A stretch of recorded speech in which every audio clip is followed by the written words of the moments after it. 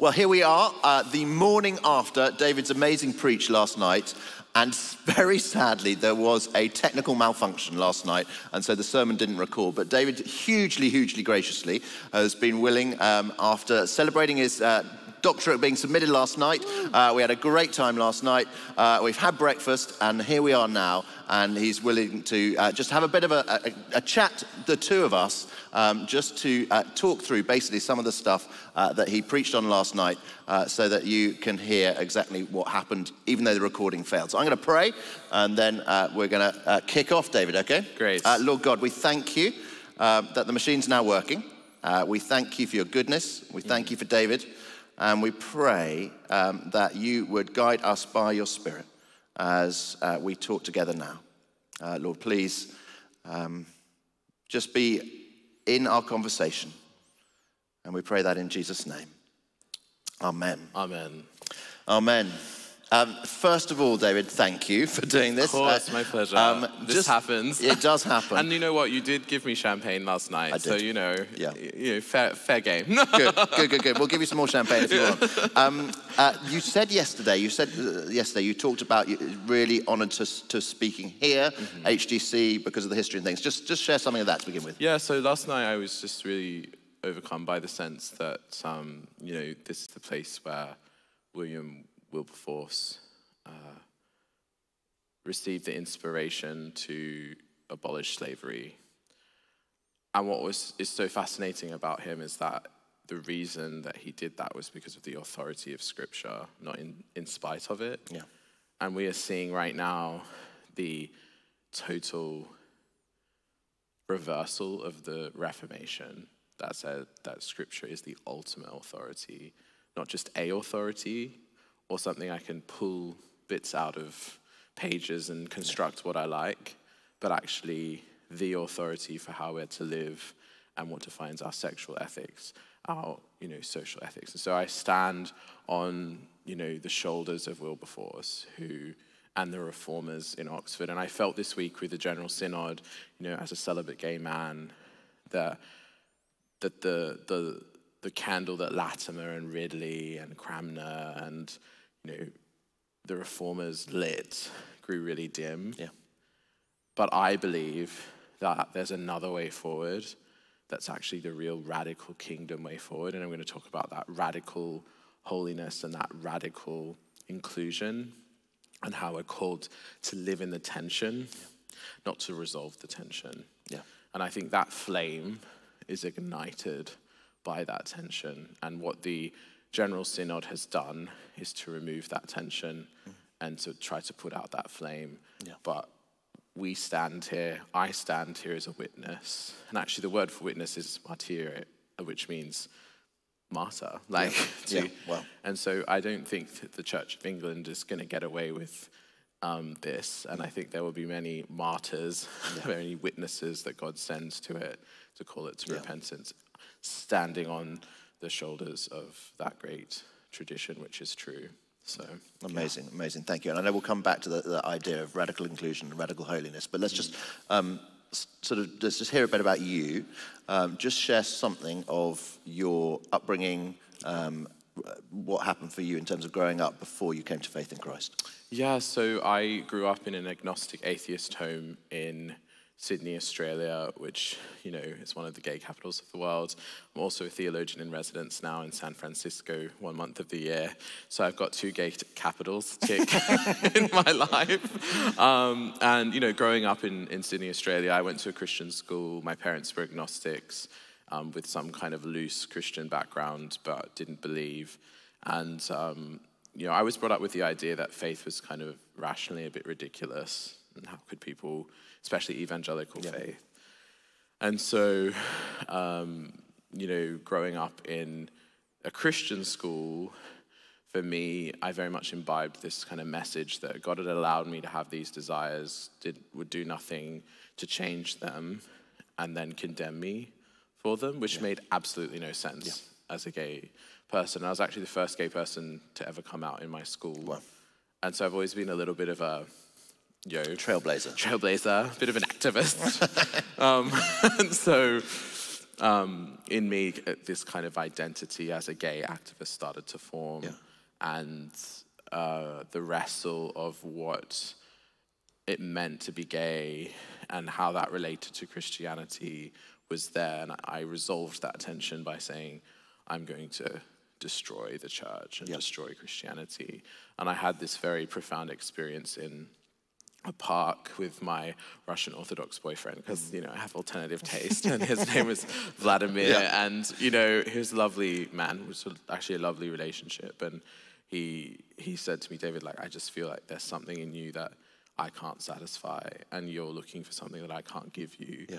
and so I want to give you this cross as a gift, and so I went on this kind of long-winded attack on Christianity and started to get quite um, exasperated with why he would give me a symbol of our oppression as a gift. Yeah. Um, but actually, my boyfriend was evangelizing me in some kind of sense, even back then. And so, but because I was controlled by self-rejection, um, and I think this is something we don't understand about our hamartiology or Yeah.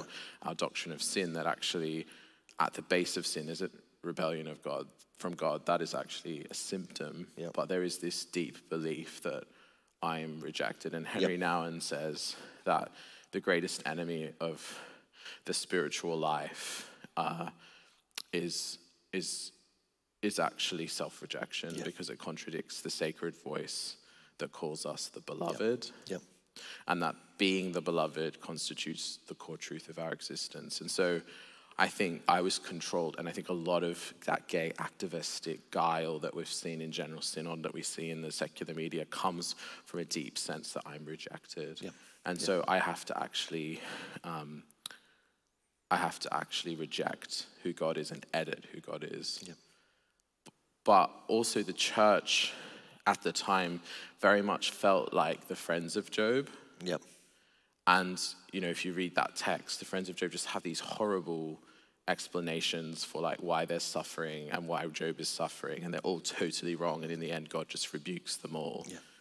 And they're kind of dismissed.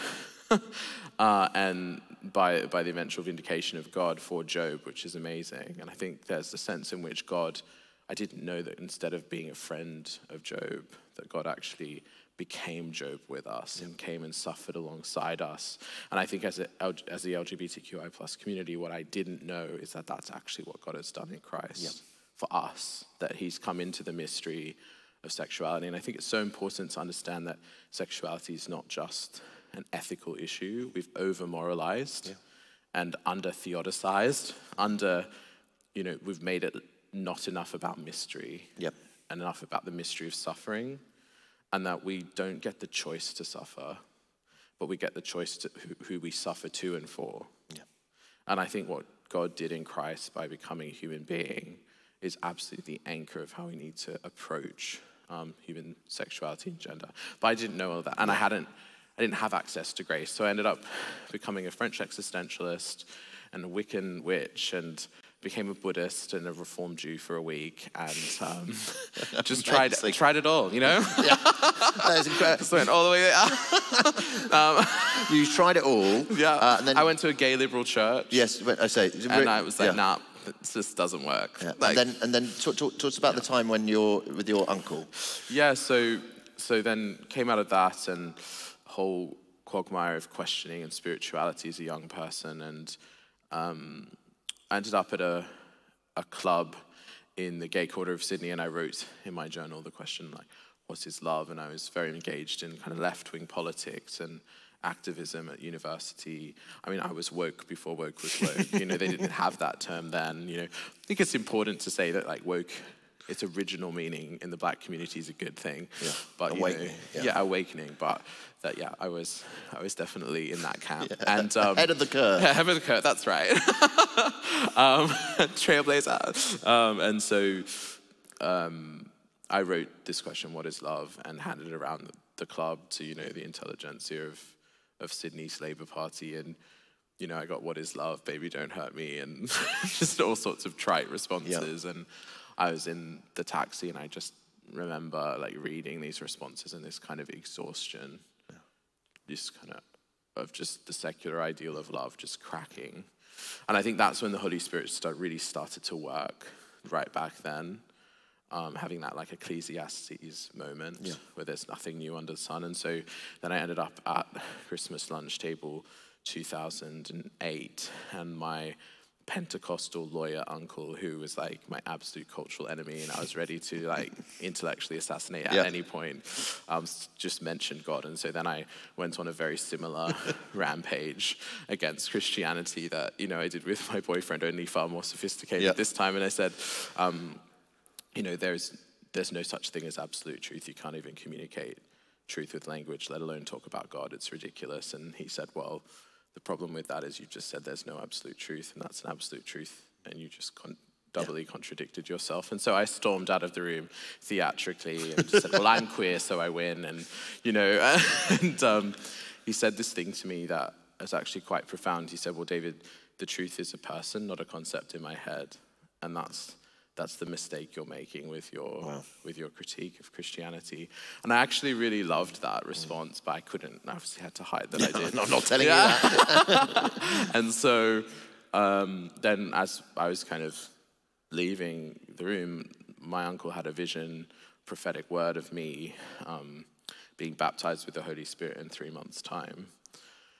And so my mum had become a Christian, and I also was estranged from her because of it, and used to spend all my time out of the house. And um, and so she heard about the word, started to pray with my aunt, and then three months later, I ended up in a pub in the gay quarter of Sydney, um, March 2009, with a young filmmaker and just Audrey Hepburn-esque kind of look. Uh, and no way in a million years would I have thought she was a Christian. Yeah. Like she was not what I associated Yes. with a Christian. And and she she proceeded to well she got her film into the largest short film competition in the world as a finalist and so i had this sense that there was something going on there Yeah. that was pretty incredible so i asked her how did this happen and she said do you want the real answer i said of course and she said well it was god Yeah. I was like That's not the answer I want. you know, and so she starts to ask me about what I think about Jesus and faith. And I said, look, I've read 1 Corinthians 6, 9 and Romans 1, which we're going to talk about Yeah. later. It's become, become some of my favorite passages. And I just know that, like, your God's not interested in me. And that, like, self rejection response, that God couldn't love me. And that, you know, that sense of rejection. And so um, she starts to be like, she said, like, David, I don't really understand that. That must be so hard. I, I don't even know. But um, I just, I have this question for you. Have you experienced the love of God? And that question just pierced right through all my defenses. And it went to that place of self rejection. It went to that deeper place um, where we believe God couldn't love us because of some extrinsic factor. And so she offered me prayer, and um, to my own like amazement, I said yes. Uh, and then she started praying for me, and it wasn't like a seeker sensitive prayer. It was full on. like full on Pentecostal book of Revelation Yeah. being cited at certain points, you know, the enemy being vanquished, the Yeah. blood of Jesus, you know, you just Yeah. imagine, I'm like, what does that mean? what is going on? But I kind of like it. It's intense, wow, spicy, you know. And so she's like, and I'm obviously a postmodern, so it's like experience, Yeah. you know. Yeah.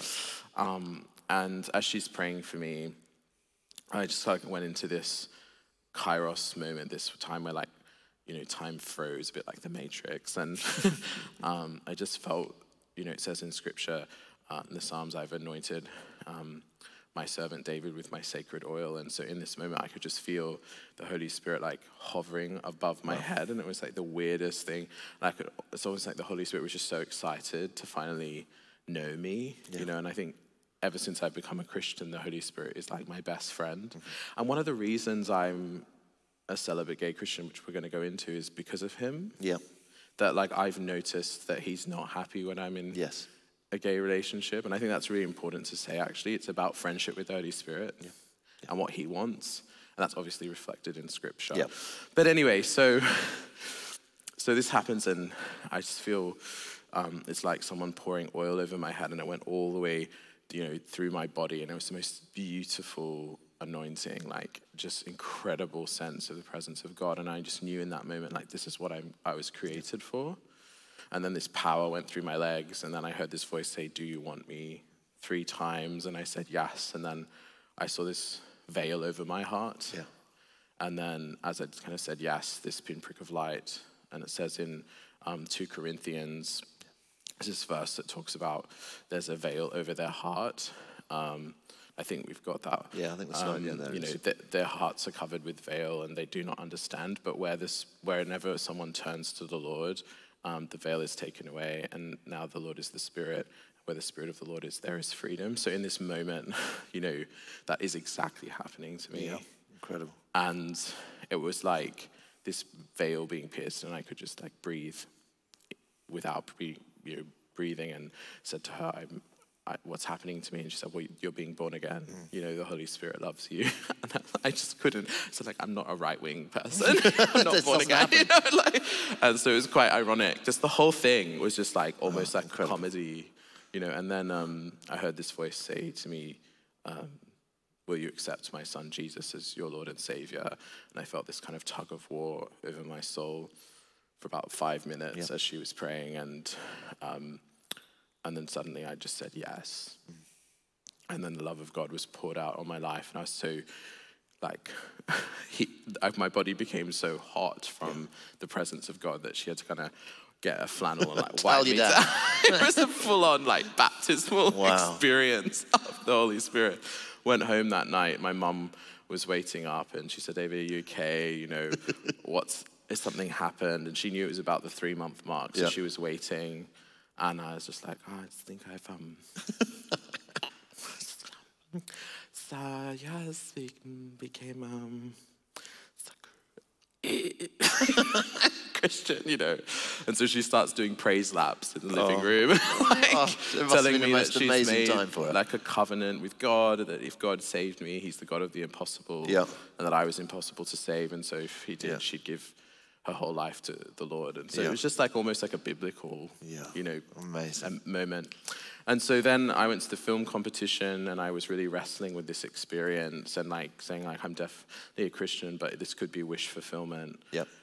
And then I looked at a star in the sky and I said, God, I, I need a rational reply. Like I need something that I just know with reason that I can trust because I've got a lot to give up. And so um, she won the whole film competition. I read, ran down to the red carpet and she was like, David, this whole event is for God's glory. There are angels everywhere.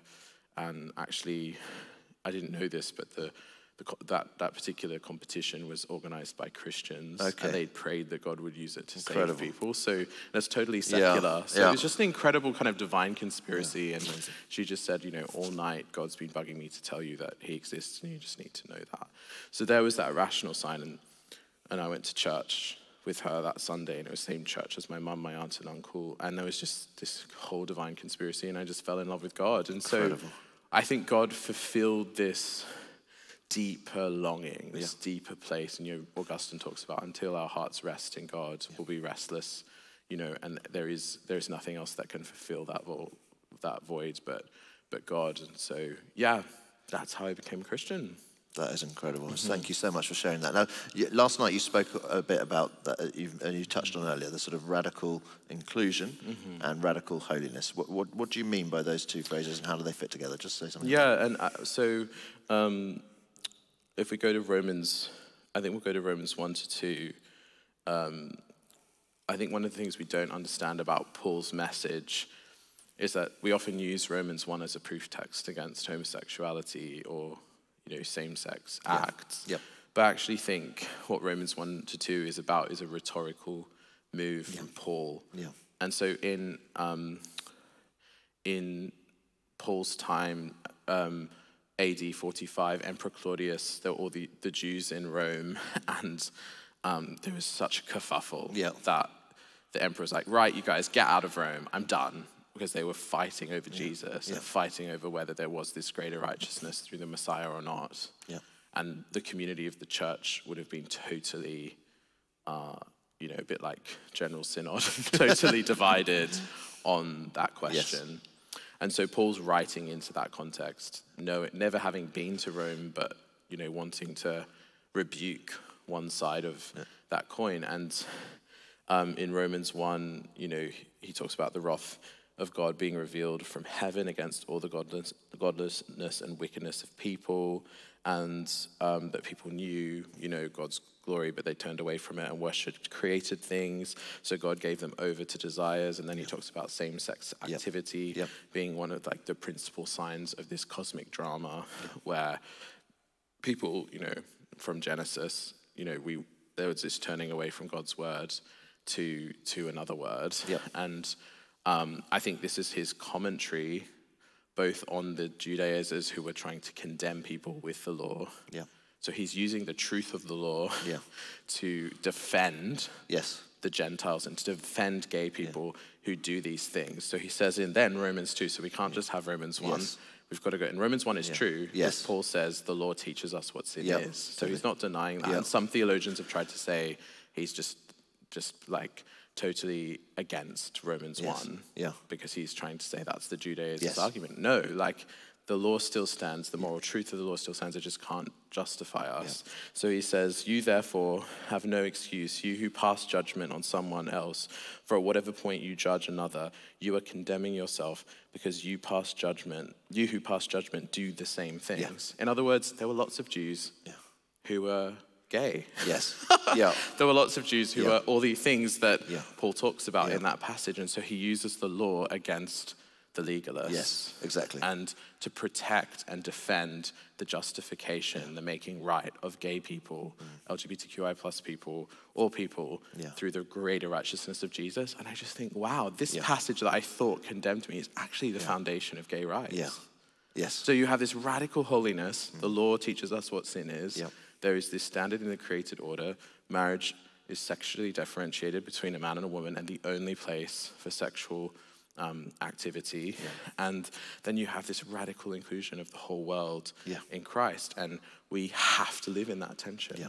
that Paul passes in this. And then he says, "All have fallen short of the glory Yeah. of God." So gay, straight, Yeah. you, you, you can be justified. And then in receiving that gift of love, you are then inspired desire from the deepest part of you to want to live in a way that pleases God Yeah. and actually fulfills the law. Yeah. So you don't fulfill the law yourself. Christ's already done that, but He, in your obedient living, fulfills the law in your life. So it's done by grace, not by Yeah. law. And I just think, what an incredibly radical Yeah. message that it's radical holiness, a deeper holiness than even the law itself, and a even way more radical inclusion. And Yeah. I just think we've lost that message. Yeah. No, and so- I think the General Synod has lost that message. So powerful. I love the bit where it has that phrase that uh, without excuse, and it's got the you're without they're without excuse the Gentiles in chapter one. Yeah. And then the, the Judaizers think they're so super moral and super perfect. You're without excuse, you who judge, and saying actually all of us need Jesus. It just um, it's and wonderful message. the other thing he says is you blaspheme the name of of God among the Gentiles. So actually, it's like the worst place to be in Yeah. Paul's view is actually the one who's trying to stand on the law as righteousness. Yeah. And I think as the conservative church, Yeah. we've often slipped into that Correct. fleshly space with the gay community, and that's the Jo-. Friends of Job problem. Yes. Yeah. Yeah. No, thank you. you. After talking about that, but you then went on and talked about eunuchs. Yeah. And Isaiah 50. What was it? 54, 56. I can't remember It's it was. um, Isaiah 56. Isaiah 56. Tell us about uh, what is a eunuch for those who don't know what a eunuch is, um, and um, and tell us about Isaiah 56. So yeah, eunuchs were a kind of sexual gender minority in the ancient world, and actually, it's quite hard to know exactly what they were, but they were usually defined as people who couldn't procreate because they didn't have the genitalia to do so. But they could have also been people who were queer Yep. or just didn't fit in the Yep. male-female gender binary. And Yep. some people say to me, "Oh, I don't know if you can apply this passage exactly," and I said, "I think you can apply it at least analogously." You Yeah. know? So I'm happy to use it and insert gay, trans, Yes. whatever Yep. it might be Yep. um, because they didn't have those categories, but those sure. realities still existed, Yeah. you know. So it says in, um, and I remember reading this passage actually in Oxford, and it's like I, the Holy Spirit just switched on a light. I was like, oh my gosh, this is 600 years before Jesus came? yeah. And this reveals how radically inclusive God was, even in the Old Testament, which people like to deny. Um, so it says, um, To the eunuchs who keep my Sabbaths and choose what pleases me and hold fast to my covenant, to them I will give within my temple and its walls a memorial and a name better than sons and daughters.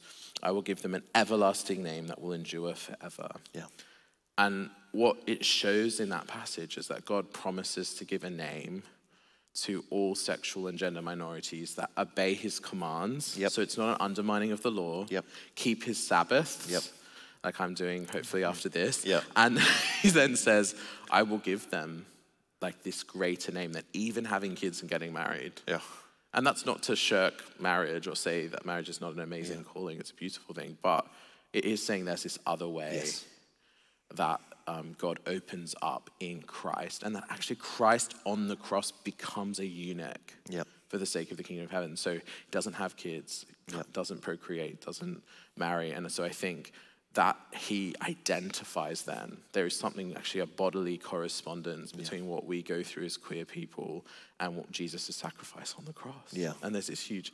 Then you see in Acts 8, the Ethiopian eunuch Yes. being baptized, Yep. this kind Yeah. of apocalyptic moment as the fulfillment of that Mm. passage. And then in Revelation, it talks about people who haven't, you know, um, are virgins. Yes. And it says they have a name that no one else has, they have a song that no one else can sing, and they follow the Lamb wherever he goes. Yeah. And so there's this incredible picture of hope, actually. Yes. For queer people that Yeah. choose, and it's not necessarily celibacy. I think Yes. that can be a message that gets a bit twisted. That I'm Yeah, saying every gay person has to be celibate. Yeah. What I'm saying is that every person has to come and wrestle with God in that tension of radical holiness and radical inclusion, and then we'll find a path of obedience. And that could be what's called a mixed orientation marriage with someone of the opposite sex. Yep. Um, so there's lots of people like Sean Yep. Doherty and Yep. de- various friends of mine who've been called to that Yes. as they've wrestled. Yep. But they haven't resolved the tension. Yeah. The And tension's still there, but that is- exactly. yeah. And then a lot more, I think, of gay people end up being celibate because Yes. that wrestles quite hard. Yes. So it's not easy No. for queer people to accept the fact that their desires are misaligned with the created order, Yeah. Unlike straight people who. Mm-hmm. even if they lust, they still can get married. And you see that in 1 Corinthians 7, there's this concession for straight Yep. people to get married, and gay people, queer people don't have that. And I think that is a problem pastorally that you know we need to explore as the church and actually do a lot more work on. And so that's why I wrote my doctorate, Yes. Queering the Queer, Yep. an exploration of how gay celibate asceticism can renew and inform the role of desire in contemporary Anglican theology. So I think you know the Anglican Church has admitted they haven't done enough work on celibacy. Yes. And so I just I think we have such an exciting opportunity to go back to Scripture and see how it is actually a really good word Yeah. for LGBTQI plus people. And it's funny, people have said to me, "Well, do you want the gift of marriage?" Mm. And I'm like. I don't know. Mm. I kind of love being celibate. Yeah. like it's hard sometimes, Yeah. but it's also Yeah. just like really amazing. And I, Yeah. I actually really understand 1 Corinthians Yes. where Paul says, I wish you were all as I am. And someone said to me last night after I preached, they were like, I understood that for the first time. yeah. And my mum even says to me sometimes, David, darling, I'm just a little bit jealous of your calling. Sometimes I love your father, but I wouldn't mind being a radical celibate of preaching the gospel. So, you know, I think we all just need each other, Yes. married people, celibate people. And God has this beautiful picture of, of, of that and the city of God, of Yeah. us all together worshipping around the throne. And I just think there's such hope, there's such goodness. This is a good word Yeah. for LGBTQI plus people. And I cannot believe that the very scriptures that I thought condemned me Mm. were actually the scriptures of the foundation of my inclusion. And even 1 Corinthians 6 9, which I haven't talked about just quickly, Mm. Yeah. you know, it does say if you define your life without God in the activity of, of gay sex, Yes. it says you will not Yep. receive the kingdom of heaven. Well, don't we know that? You've got to Yeah. be justified by faith first, you know? Yep. So it's not denying that universal offer of justification. And then Paul says, but such as some of you were. In other words, there are a ton of gay people in the early Yes. church. Yeah. like a lot of people had been Yeah. included in the covenant, and actually this is the sign of inclusion. Totally. The very passage I thought would Yeah. mean meant I couldn't be included. And so Yeah. my I'm praying and hoping people's ears could be opened Yeah. to that inclusion that leads to radical holiness. Yeah, amazing word, amazing word. Just as we sort of wrap up, Mm-hmm. um, uh, just, I just want to mention your book, which is an amazing book, A War of Loves, the unexpected story of a gay activist discovering Jesus. Just, um, uh, uh, Mm-hmm. just sort of following on from what you just said there, just explain what you're meaning when you say a war of loves, and, and that, this, Yeah, explain yeah. that. So I wrote A War of Loves because I think what is essentially happening in for gay people, particularly, as I've just described, is that kind of tension we have to live in, which is quite extreme. Of like, which love do I allow to define my life? Like Yeah. the love of God or the love of, you know, Yeah. my sexual orientation, love. Yep. And actually, until you experience the love of God, and then that love becomes so much greater in your life and wins the war, if you Yes. like, then you can actually understand your sexual orientation and wrap it around the holiness of God. But if you're trying to do that without the love of God, it'll just end up being a clanging cymbal. It'll just end up being legalistic and repressive. So I think a war of loves is this message of let the love of God win over all your other loves. And then there's also the, the tension of the spirit and the flesh that Yeah. Paul talks about, the war Yes. between those Yeah. two forces of energy, energy of death Yeah. and um, non faith, Yes. and then the energy of faith and life from Christ, and those two fighting over our lives. And even when we're born again Christians, spirit filled Christians, we're still always going to experience that wrestle. And so it isn't just an easy journey. Your, you know, your gay desires go away, your straight desires go away. Oh no, sometimes that war gets intense, Yeah, and sometimes battle. we fail some battles. Yeah. But it's okay. There's hope, Yeah. and God has the grace to move us on. So that's why I put, put you know, and there are many other reasons why I chose that title, but yeah, Yeah, David, thank you. Thank you uh, so those much. are awesome, awesome words. They really are. Um, thank you for being amazing in all you've spoken to us last night, even if it wasn't recorded, and now. Uh, thank you for being with us. Thank you for um, standing up and being counted in so many different ways. We are so, so grateful for you, uh, here at HTC. We love you. Um, we are thankful to God for you. Uh, you're an amazing friend and great fun to be with as well. So huge, huge thank you to you. Um, uh, in a moment, I'm just going to ask you to pray for everyone who's listening to this, uh, and then I'd love to pray for you. Um, obviously, this isn't the sermon that David gave last night. Uh, if you'd like to listen to a sermon, if you're wanting more, um, we'd encourage you to head to uh, Church of the City, New York, uh, their website, Jon Tyson's church, uh, where David spoke there. How, many, uh, how long ago was that? About a year ago? Uh, th- two or three months ago. Oh, it was only two, or three Yeah. months ago. Time flies when you're having fun. uh, um, um, two or three months ago, and you can listen to a similar sermon there uh, from a few months ago. But um, do you want to pray for people listening to this? I'll pray for you. Yeah. And is there anything else you wanted to share before we before I we think wrap one up? thing yeah, I'd on. say is I, I really would like to send this as a message um, to the bishops Yeah, and just say, I don't think you've done the work. Yeah. And I don't think you've listened. Yeah. And I think you need to repent. Yeah. Um, there is such a radical calling here that is so beautiful. And not standing with that is grievous. Yeah. And I think I feel very much a grief for God. Yeah. You know, everyone's always talking about everyone else's needs. What about God? Yeah. Like, what about how he feels? Why is God not being put first in his own house? It's just, it's incredibly strange. It feels as if the Church of England has become a secular organization. And we have to not become that. Yeah. And that doesn't mean we don't have gracious space, you know, for people like myself, but we call them to this path. And so that's, that's my message. And um, I just want to say that prophetically here, standing on Wilberforce and, Yeah. you know, on the word and authority of the word. So Thank you. That's a great message. It really is. There was a, a General Synod that I was at. There was one moment where um, one individual, um, she was speaking and she misquoted um, 1 John chapter 4, um, verse, just finding it now, uh, verse 16, 1 John 4, 16, which says, God is love. Whoever lives in love lives in God and God in them. And she misquoted it and said, it said, love is love. Whoever lives in, in, uh, in love loves, lives in God and God in them. And that's, that's exactly the battle that's going on that you just said there. Actually, who's listening to God?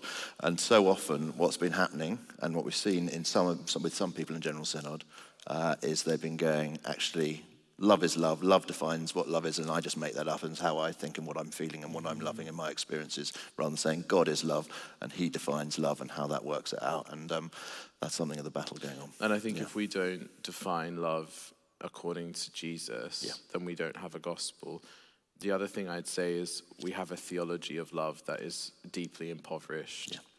And we need to do work on our theology of love um, as Anglicans. So, but that's another That's conversation another. We'll have another time. conversation later. Um, thank you. Why don't you pray for um, everyone who's listening to this, Great. and then I'd love to pray for you. Thank you, Jago. Yeah, Father God, just thank you. I just thank you just every time I open your word, Lord, it's just such good news. uh, it's so amazing. And Lord, we've been so impatient with you. And so we just repent for our lack of patience, of trusting you that your word is good. And so, Lord, I just pray, especially for HTC, but all the churches across this nation and particularly in London, Lord, to just look again, to have that new naivete about your word, to be charged up with the goodness of your words, your holy word, that people gave their lives for these scriptures and they have brought huge transformation and liberation over and over and over again. And Lord, I just pray your word would be read again and that the drought of your word in this nation would be pushed back. And Lord, I pray for anyone who's listening who may be from the LGBTQI plus community, I pray you would encourage them, Lord, to refuse the false ideological um, responses to this that take them away from that tension and tell them that that is actually faithfulness to resolve the tension. But Lord, you would help them to live in the tension all people uh, to live in the tension. And Lord, that you would tear down the idolatry of romantic love in the church and return your calling of celibacy to the center again and uphold the depth and beauty of marriage as you truly teach it in Scripture. In Jesus' name, amen. Amen. And Heavenly Father, we thank you so much uh, for David. Uh, we thank you um, for who uh, you have made him to be uh, in your image. Uh, a wonderful man. And we praise God we praise you, Lord God, for him. We thank you that you have raised him up as a preacher, as an evangelist, as a writer, as an academic. Uh, but above all, we thank you that you have raised him up uh, to be someone devoted to you and um, loving you. And Lord God, uh, we thank you for his ministry. And we pray that you will continue to use him in mighty ways. Mm. Uh, we pray, Lord, just as we pr- I prayed for him last night, uh, where uh, you, Lord God, spoke to Abraham and you said, I am your shield, mm. your very mm. great reward. And we pray, Heavenly Father, uh, that David might know you uh, as his shield and his reward. That he might know you as uh, his protector, his shield, that he would know that hedge of protection around him from you, that you would protect him in all that he is doing. And he might know you too as his very great reward, his provider uh, that you might provide for all his needs at this time. Uh, Lord God, please, by the power of your Spirit, mm. uh, would you fill him up? Uh, would you protect him and provide for him? Lord God, we pray. And we pray all this in Jesus' name and for his glory. Amen. Amen.